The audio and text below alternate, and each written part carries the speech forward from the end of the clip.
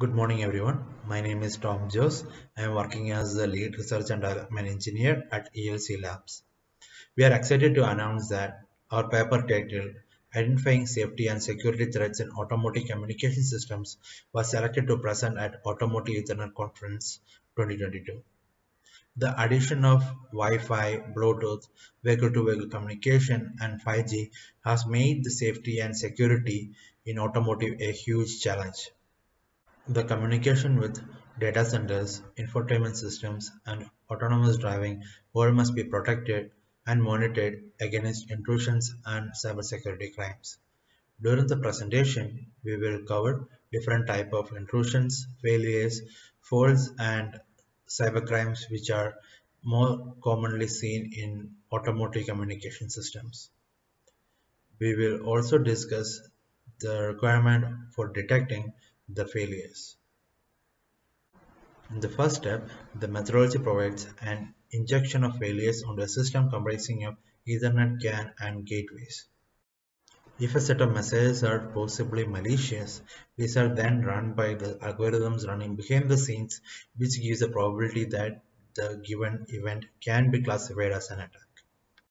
We will also discuss the computational requirements for adding encryption, firewall, cybersecurity algorithms into our existing design, which can provide you an insight which can help you size the hardware and partition the software. The experimental results obtained in our test scenario was interesting as it verified the system performance under faults, obtained throughput across the network, and identified the packet transfer delay.